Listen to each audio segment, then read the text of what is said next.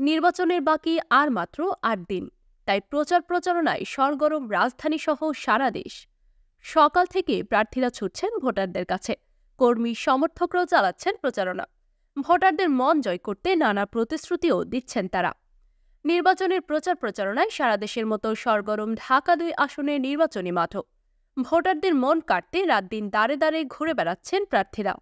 শুক্রবার শনিবার সারাদিনব্যাপী কেরানীগঞ্জের কালিন্দি সাক্তা তারানগর ইউনিয়ন সাভারের আমিনবাজার সহ বিভিন্ন এলাকায় প্রচার প্রচারণা চালিয়েছেন ঢাকা দুই আসনের স্বতন্ত্র প্রার্থী ড. হাবিবুর রহমান। গণসংযোগে পথচারী, বাসাবাড়ি, ব্যবসা প্রতিষ্ঠানে লিফলেট বিতরণ করেন তিনি এবং উন্নয়নের প্রতিশ্রুতিও দেন। এ সময় সাধারণ মানুষের মাঝে তাকে নিয়ে ভিন্ন রকমের উচ্ছ্বাস দেখা যায়।